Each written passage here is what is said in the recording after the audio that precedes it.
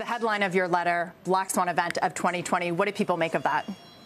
We've seen an outpouring of uh, reaction from our portfolio companies and from uh, a, a broader audience. It seems like it's a bit of a wake up call that we might have a serious crisis at our doorstep. Now, I heard it came about in about 48 hours. Tell me that process when you guys decided that you needed to write something like this with, you know, raising an alarm essentially among your founders and CEOs. We had a, a meeting on Monday, uh, what we call a blue sky session, where we talk about trends, uh, what we think might happen in the future. And the topic that dominated was apocalypse. And that spurred us to think about whether this is an, a, a good time for us to put a thought piece out to our portfolio to help them prepare. Now, the last time you did this was back in the 08 09 financial crisis, and it was called RIP Good Times. Do you see the situation um, along those lines getting worse, as bad as that, or less severe? We hope not. We sincerely hope not. This is a serious matter. Lives are are at risk. There are people being affected by this today. I think back then the global financial crisis was a very different situation, and it clearly affected fundraising and capital formation and companies' finances far more directly. Here we're at the cusp of something that may have that kind of economic effect, but we don't know yet. Now, we've seen massive changes in the venture landscape since the 08 09 crisis, the rise of the so called tourist investors, um, mutual funds, hedge funds, sovereign wealth funds have become much more involved in private markets. How do you think they react? Do they react with more fear or perhaps an opportunity to get deeper into the venture landscape? My guess is fear is going to dominate today. Uh, if you look at the volatility in the stock market over the last two weeks, the fact that we've had $3 trillion of market cap evaporate from the S&P 500 I think fear is forefront in people's minds. Roelof Morgan here. I, I, wanted to get your take on a line that really jumped out to me in this letter, uh, and that's that it will take considerable time, perhaps several quarters, before we can be confident that the virus has been contained. It could take even longer for the global economy to recover its footing. At least from a Wall Street uh, perspective right now, so much of the discussion is around this idea or this expectation that this could only be maybe a one to two quarter phenomenon. Why do you think it could stretch out longer, and what could the impact therefore be?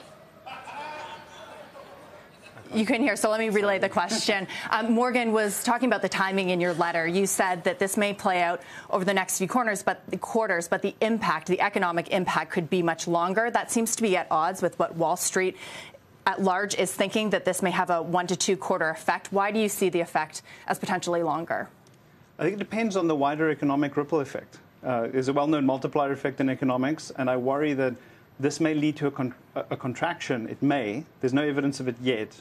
But if trips are being cancelled, airlines are down, restaurant business is down, does that cause a ripple effect through the economy where jobs start to shrink and that we end up having a self fulfilling prophecy of a recession? Now, we had Larry Kudlow on this morning um, saying that, you know, we shouldn't panic and everything's under control. Do you think that there's a disconnect between what the administration is saying and what you're seeing in private markets and VC? I agree that we shouldn't panic right now, but I think you need to have a prepared mind, and that's exactly what we wanted to do for our founders. We've been in business for almost 50 years and we've seen many economic cycles. And we help companies from the earliest stages through IPO and beyond. And we want to leverage that experience to help people prepare for what might be we hope it, it doesn't pan out that way, but what might be.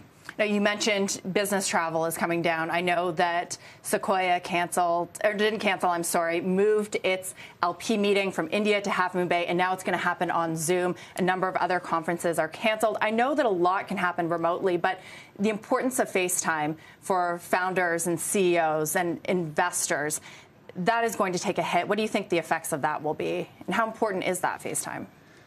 I think FaceTime is important. We're, we're, a social creature. There's so many nonverbal cues we pick up when we meet in person and reading people's body language. So I think in-person meetings, partnerships, sales that depend on that kind of inter, uh, in-person relationship will suffer as a result of this. But I'm hoping that it's temporary.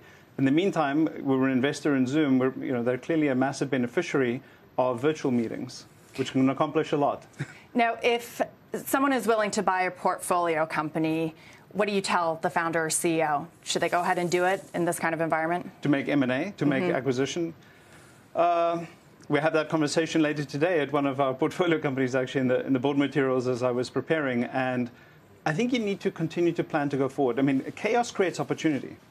It creates risk, but it also creates opportunity. And so it may be a time to lean in and to take advantage of opportunities. Mike Moritz gave us advice at PayPal in 2000 that we needed to really tighten our belts because fundraising may dry up. But we didn't stop hiring. If anything, we kept on growing and we made the most of a fabulous opportunity in 2001 when the rest of the market was timid. Now, companies that are looking to go public potentially this year and the next few years, some big ones in your portfolio. I won't ask about them specifically, but do you think that public market investors are going to have a harder time valuing them?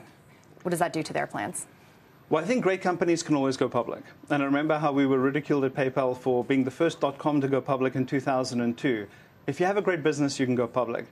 Separate question is about valuation, and clearly, if you see the sell off in the market right now, there's a lot of uncertainty, and so maybe companies won't price as well as they would have otherwise, but I still think they're able to go public. And in the long term, they make that up.